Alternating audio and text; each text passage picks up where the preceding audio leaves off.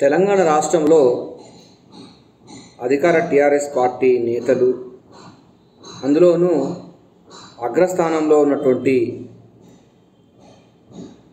Working president KTR అదేవిధంగా ఇతర మంత్రులందరూ కూడా ఈ మధ్యకాలంలో సహనాన్ని కోల్పోతూ మాట్లాడుతున్నటువంటి సందర్భం మనం చూస్తున్నాం.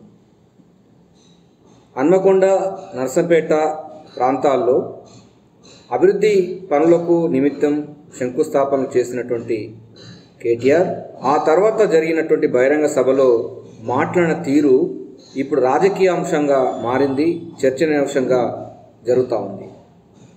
ప్రధానంగా బీజేపీని ప్రతిపక్షాలను టార్గెట్ చేస్తూ కేటీఆర్ మాట్లాడడం అన్నది రాజకీయంలో సరే ఆరోపణలు చేసుకోవడం ప్రత్యారోపణలు కొన్ని స్వీకరించడం కొన్ని ఘాటుగా విమర్శించడం చేయడం అవన్నీ జరుగుతూ ఉంటాయి.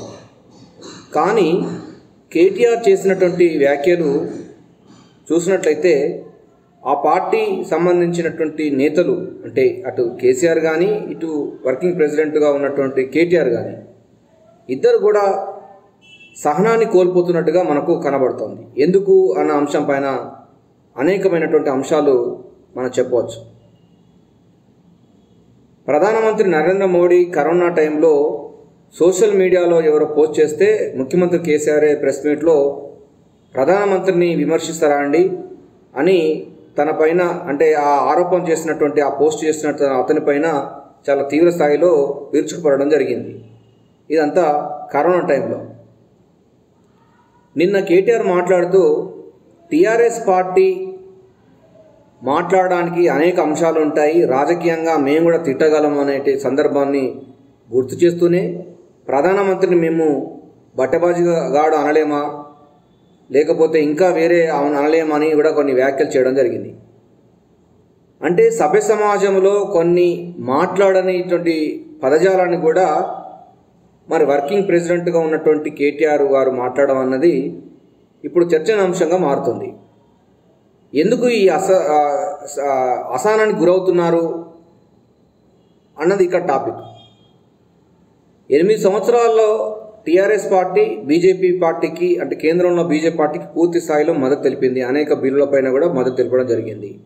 మూడు వేల కోట్ల సంబంధించినటువంటి అంశాల్లో అంటే ఆ, పన్నులు తెలంగాణకు వచ్చింది కేవలం తక్కువ అని కూడా ఆయన లెక్కలతో సహా ఆ, సరే అది చెప్పడం జరిగింది.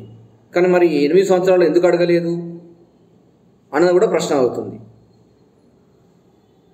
గతంలో బీజేపీ పార్టీ నాయకులు కూడా ఈ స్థాయిలో కూడా విమర్శను చేయలేదు. కేటీఆర్ మోడీనే కాకుండా బండి సంజయ్ని కూడా కరీంనగర్లో గెలిస్తే ఆయన పాలమూరుకి ఎందుకు పోవాల్సి వచ్చింది అన్న అంశాన్ని కూడా తెరదీకి తెరపైకి తీసుకొచ్చడం జరిగింది. వాస్తవంగా రాష్ట్ర అధ్యక్షుడు బీజేపీ పార్టీ అధ్యక్షుడు రాష్ట్రంలో ఎక్కడన్నా పర్యటించవచ్చు? ఆయన కరీంనగర్ లోక్సభ ఉన్నప్పటికీ రాష్ట్ర వ్యాప్తంగా ఎక్కడైనా పర్యటించవచ్చు రాజకీయ పాదయాత్రలు చేసుకోవచ్చు. అని కరీంనగర్ వదిలిపెట్టి పాలమూరుకి ఎందుకు వెళ్ళడం జరిగిందని అంటున్నారు. మరి కేటీఆర్ సిరిసిల్లలో ఉన్నటువంటి అతను మరి వరంగల్కి ఎందుకు వచ్చాడు దానిపైన కూడా చర్చ జరుగుతూ ఉంది. సోషల్ మీడియాలో బాగా విస్తృతంగా జరుగుతూ ఉంది.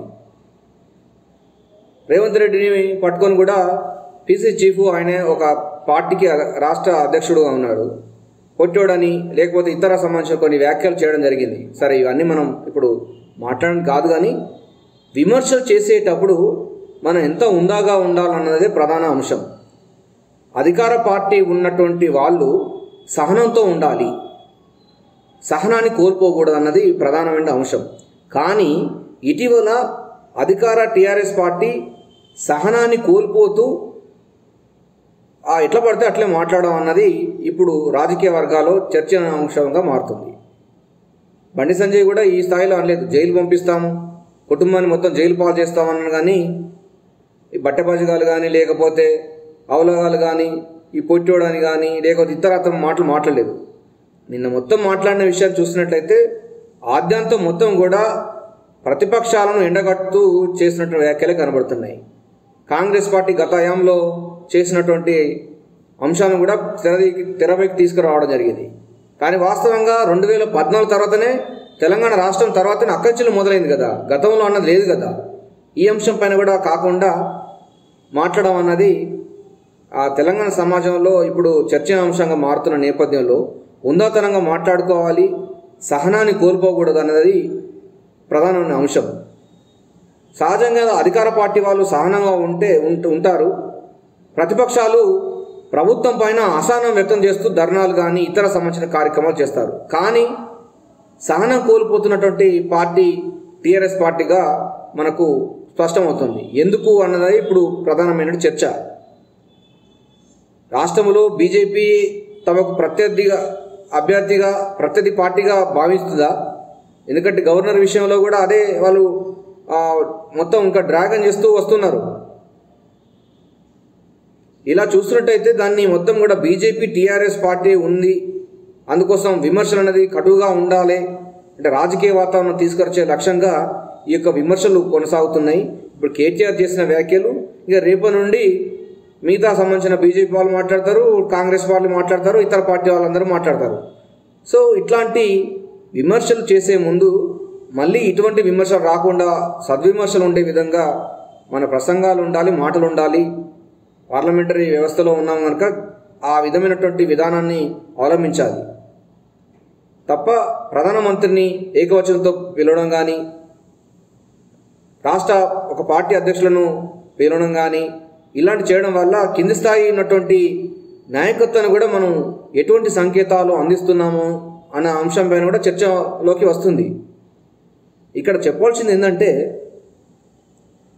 సహనాన్ని ఉండవలసినటువంటి అధికార పార్టీ అసహనాన్ని కోల్పోతుంది. అసహనంతో అంటే ప్రభుత్వం పైన అసహనం వ్యక్తం చేస్తున్నటువంటి అపోజిషన్ పార్టీస్ ప్రతిపక్షాలన్నీ కూడా సహనాన్ని కోరుకుంటున్నాయి. ఈ అంశం పైన చర్చ జరుగుతున్న ఉన్న విషయం మనకు తెలుసు. సో ఏదైనప్పటికీ రాజకీయంలో విమర్శలు ప్రతి విమర్శలు ఉన్నప్పటికీ సద్విమర్శలుగా ఉండాలని కూడా కోరుకోవాలి థ్యాంక్ యూ